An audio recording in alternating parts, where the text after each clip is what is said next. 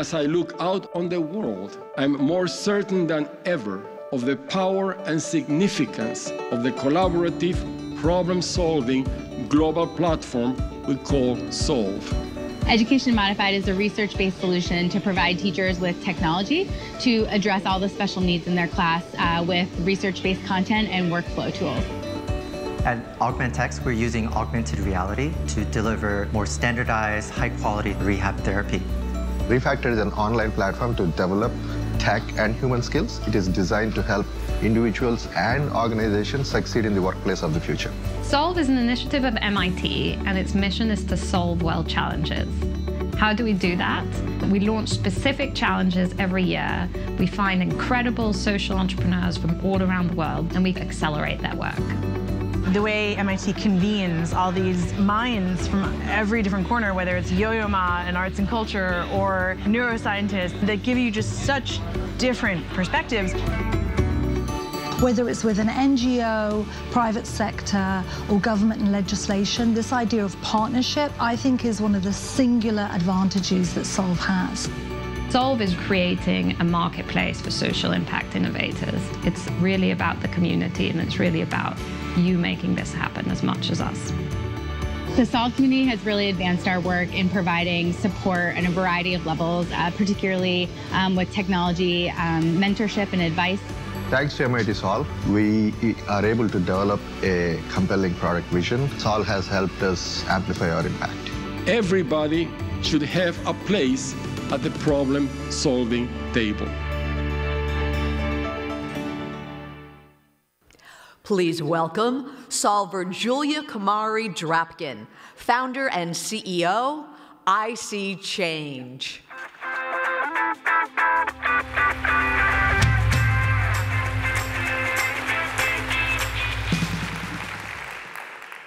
Thank you. I'd like everybody in the room to think about an important life decision that you've made where you decided to live, what you decided to do, who you decided to love.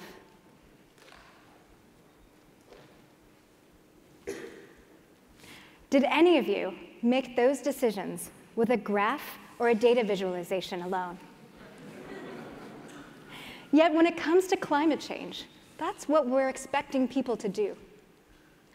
Neuroscience tells us that decision making happens across both halves of our brains. And yet, climate change is traditionally communicated using only one half, the logic linear data side. But we're missing details and opportunities on the other side to understand the lived experience of extreme weather and climate over time, treating stories as data and resilience empowerment tools. ISeeChange's unique approach to community source data begins with individual stories and grows into networks of neighbors, co-investigating their changing environment and co-designing solutions with their civic leaders. Traditional data and modeling used by cities, engineers, and insurers fails to account for the block-by-block -block differences and neighborhood context. Without the input of communities experiencing climate change firsthand, solutions are less effective and less trusted.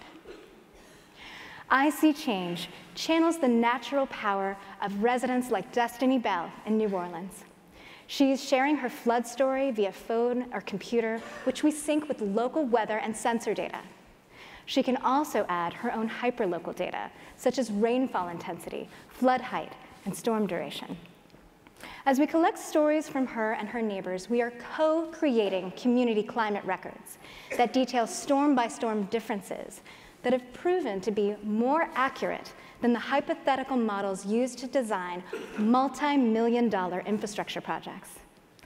Destiny and her neighbors repeatedly flagged her corner as highly disruptive. It impedes buses, trash pickup, and keeps children from their yards.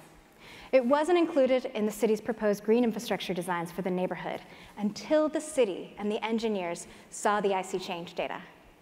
Across two projects to date, ISeeChange Community Data has contributed to four design decisions that have saved up to $600,000 in potential redesign fees. We've gone from a nice to have to a need to have, according to our first clients, an international engineering company. However, data isn't the only value here. Our users measurably increase their risk awareness on ISeeChange over time, which not only can help cities inform resilience strategies, it can lower community insurance rates. The latest IPCC report gives us 12 years to stop catastrophic impacts of global warming. That means when my three-year-old son turns 15, he inherits the world that we make for him. But ironically, this urgency is getting dulled by the growing frequency of extreme weather. Social science suggests we normalize climate extremes in a window as short as two to eight years. That's the equivalent of us as frogs on a, in a boiling pot. By the time my son is 34 and my mortgage is paid off, hopefully, 140 million people are going to be forced to leave their homes because of flooding, heat, drought, and air pollution. But if we see it and we point to it, we can change it. If I see change partners in the United States, where we have some of the world's most sophisticated modeling technologies, cite us as a need to have, then imagine what we can do internationally, where basic weather and environmental monitoring is lacking. Our platform supports 14 sustainable development goals, but the most important is reducing inequality. Our users are majority women and youth, the demographics most impacted by climate change with the least decision-making powers.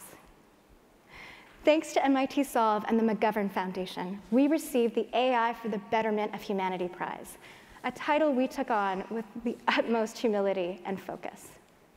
As our first step, we are scaling community preparedness and cultivating resilience by comparing ISeeChange data to sensor networks that can provide additional validity and iterative dialogues, combining stories and data. From New Orleans to Kenya to Kerala, ISeeChangers in 118 countries are already documenting the local change impacts and connecting to the bigger picture trends. We are seeding an international neighbor-to-neighbor movement that provides the local context, downscaled data, and trust that we need to co-design local resilience together. True expertise innovation, and impact comes from the people who are facing challenges up close in their daily lives, all across the world. That's the DNA that ISeeChange shares with MIT Solve. And now I'd like to invite all of the 2018 Solver teams and 2019 fellows to join me on stage.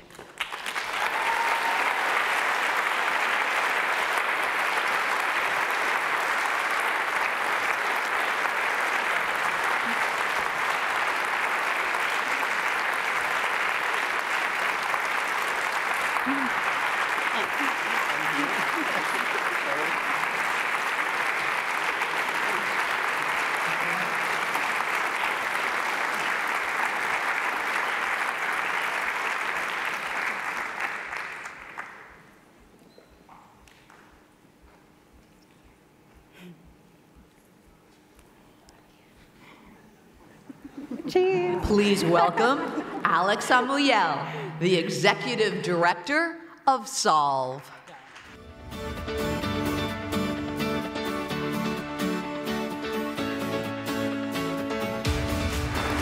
Uh, hello, everybody. Another round of applause for our Solver teams, please, and our Indigenous Communities Fellows.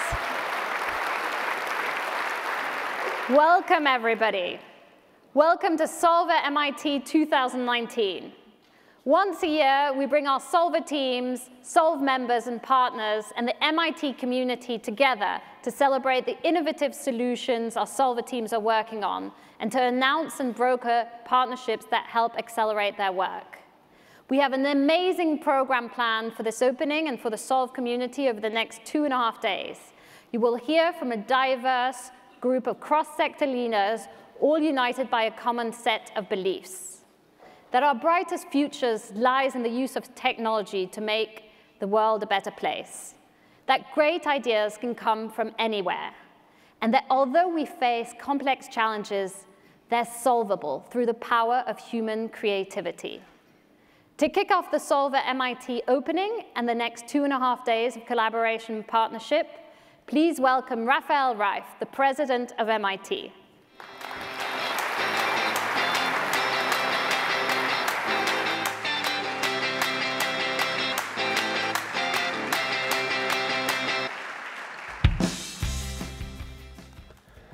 Thank you, Alex, and good afternoon.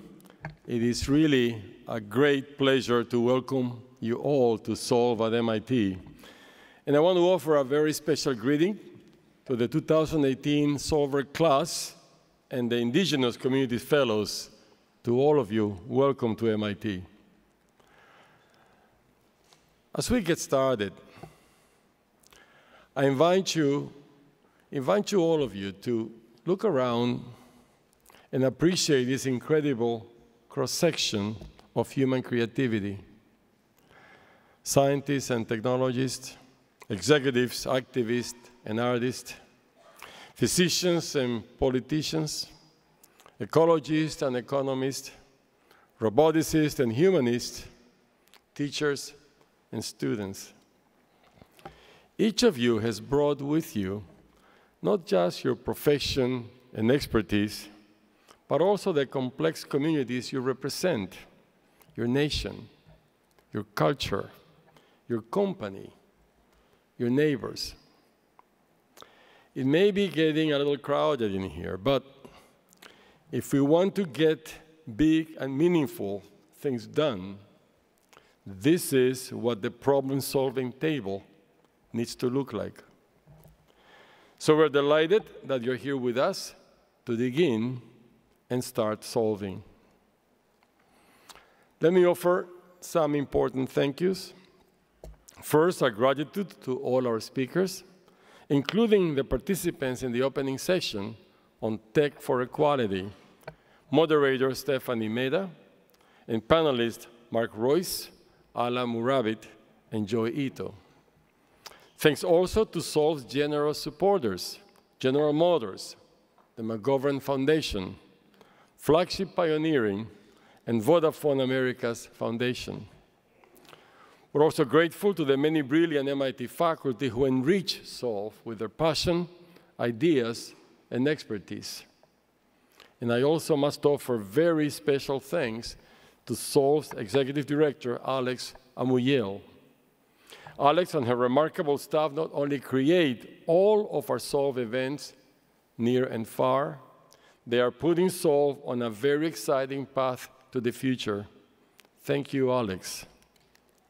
And above all, I want to thank the Solve community, and especially all the solvers, as well as all applicants to Solve for their imagination, dedication, and courage. So please join me in offering our gratitude and congratulations to everyone involved.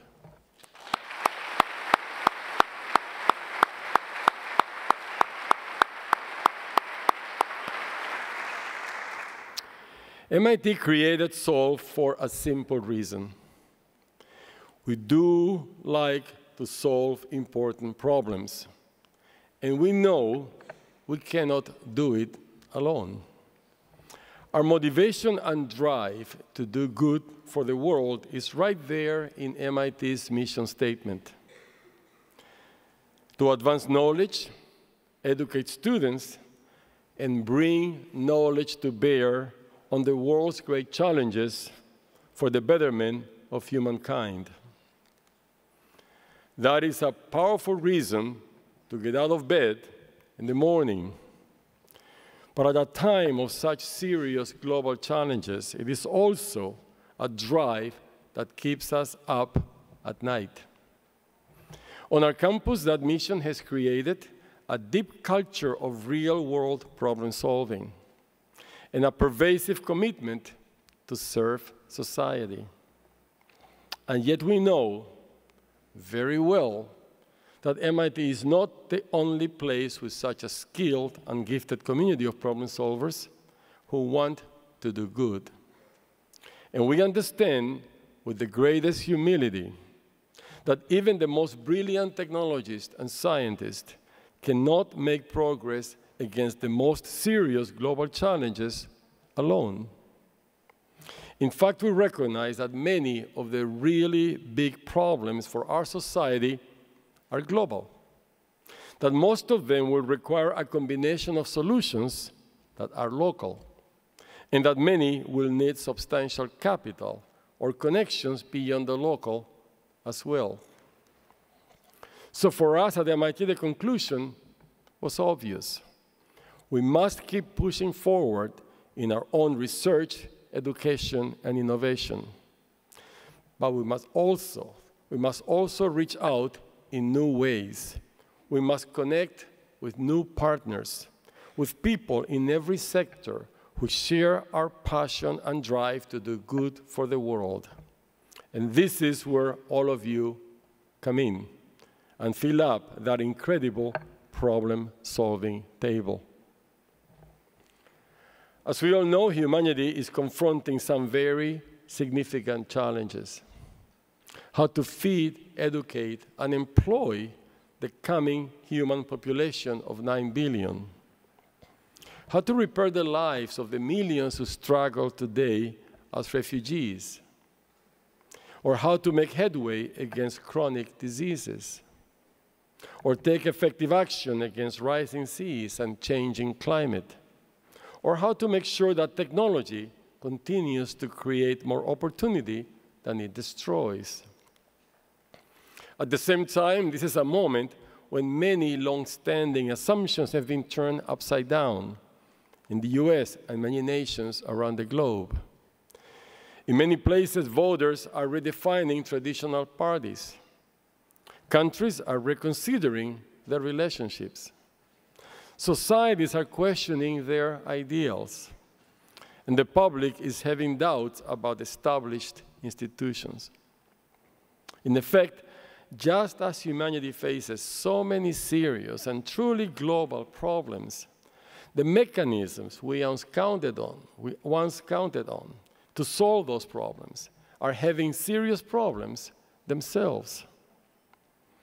I take all that to mean that we could not be here ready to solve at a more important time. And I'm extremely proud to be in the company of people with such courageous creativity.